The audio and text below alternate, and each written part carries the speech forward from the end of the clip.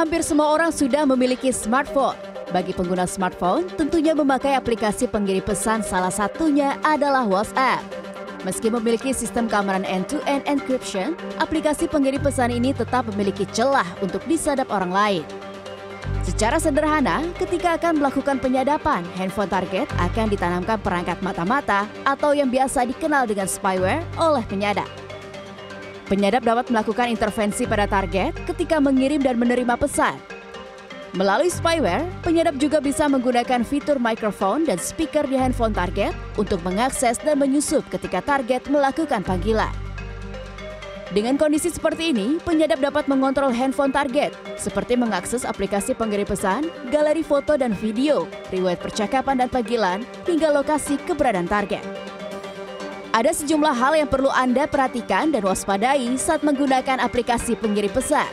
Di antaranya, mengirim pesan yang tak dikirim pengguna. Status WhatsApp Anda online padahal Anda tidak menggunakannya. Ada pesan yang sudah dibaca padahal Anda belum membukanya. Keluar secara paksa dari akun WhatsApp serta tiba-tiba mendapatkan kode OTP. Bisa jadi akun WhatsApp Anda sedang dikontrol oleh orang lain dari chat jauh.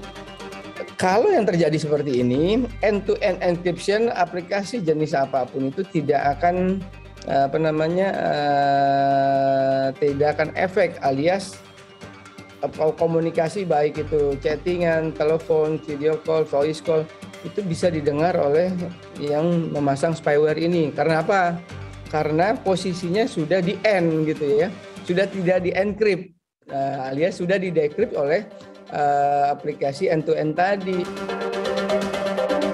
Ruby menambahkan, proses untuk menanamkan perangkat mata-mata atau spyware di handphone kita dapat dilakukan kurang dari satu menit.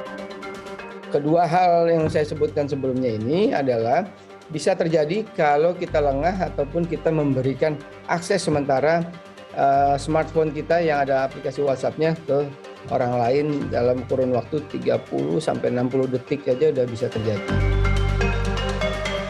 Beberapa langkah dapat dilakukan untuk mengantisipasi penyadapan, seperti memastikan operating system handphone Anda selalu menggunakan versi terbaru, baik pengguna iOS ataupun Android.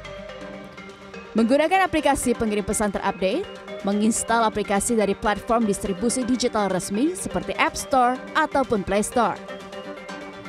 Tidak ada salahnya juga menginstal aplikasi anti-malware, menggunakan password, Pantau secara berkala fitur multi-login device aplikasi pengirim pesan Anda.